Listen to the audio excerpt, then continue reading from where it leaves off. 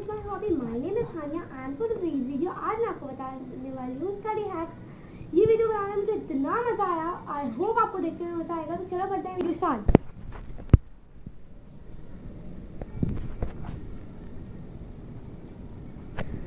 To my नाम my name is Tanya आज मैं आपको स्टडी हैक्स बताने वाली हूँ। जैसे कि आपको पता है कि एग्ज़ाम्स आने वाले हैं या फिर बच्चों को प्रमोट कर दिया जाएगा क्योंकि लॉकडाउन है या फिर एग्ज़ाम्स हो सकते हैं। तो इसीलिए आज मैं आपके लिए लाई हूँ स्टडी हैक्स तो ये स्टडी हैक्स आपको बहुत काम आएँगे। चलो हम की वीडियो स्टार्ट करते हैं। मुझे वीडियो शूट करने में बहुत मज़ा आया और आई होप आपको देखने में मज़ा आएगा। तो चलो करते हैं स्टार्ट गया, मैं पढ़ाई करती हूँ।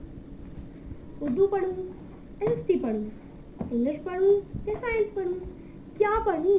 आपके साथ भी ऐसा ही होता होगा, आप सोचते होगे आप इंग्लिश पढ़ो एस एस टी पढ़ो साइंस पढ़ो तो इसका एक हैक है। आपको लेना है सिर्फ़ एक अगर आपको याद है कि कौन से नंबर पे कौन सा सब्जेक्ट है तो तो ग्रेट है, लेकिन अगर आपको याद रहेंगे तो आप इस पर स्टिक कर सकते हो सब्जेक्ट मुझे तो याद होता है, इसलिए मैं थ्रो करती हूँ डाइस ओ वन नंबर आया है, यानी कि मुझे साइंस पढ़ना है।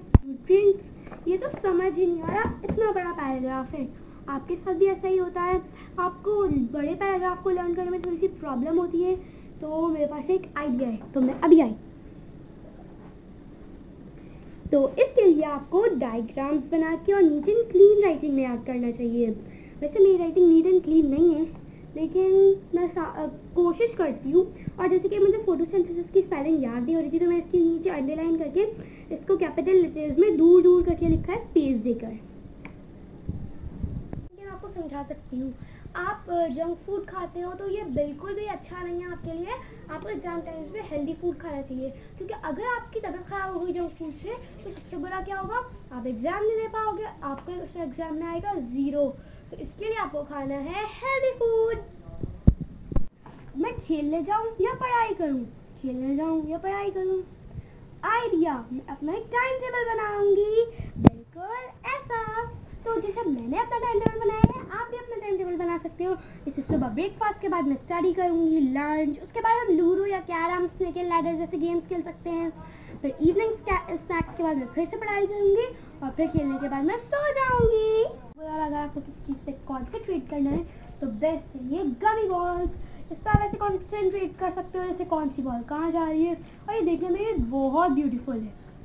तो आप भी ऐसे करिएगा। यस जीत गई। अरे सर, में दर्द हो रहा है पड़ेगा कौन? चलो, सो जाती हूँ। आपके साथ भी ऐसा ही होता होगा, आप फ़ोन यूज़ करते हो तो इसलिए आपके सर में दर्द होता होगा, आपका सर चकराने भी लग जाता होगा। तो इसके लिए आपको फ़ोन यूज़ नहीं करना, बल्कि आपको बाहर जाके खेलना है। तो मैं तो बाहर जाके खेलती हूँ।